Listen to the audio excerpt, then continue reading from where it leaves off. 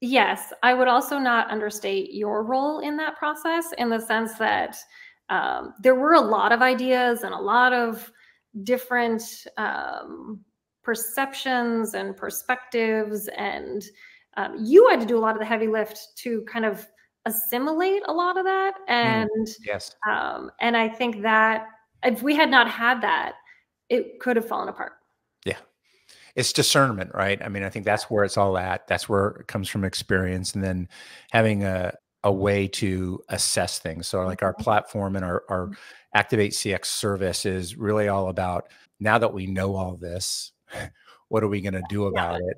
Yeah. And and that's where the experience comes in and says, okay, this this is a logical first step. We have to remove this impediment before we Yeah. get to that. And that Yeah. means kind of taking into account where the organization is at, how the Mhm. organization moves and accepts change, um, how fast they can adopt new technologies. So again, it's always just like I, I said earlier that you meet different CMOs and you notice, well, they're all different. Mhm. Every customer uh, and every client, there are similarities, right? Because there are human beings in it. There are businesses. Businesses function a certain way, but then you really get down to getting a feel for how the organization moves, and that's really what it's all about. Because in the name it says activate CX. It has to be action, Yeah. and um, so that's the that's kind of the kernel of that. And it's it's always really great to hear from you, like how that impact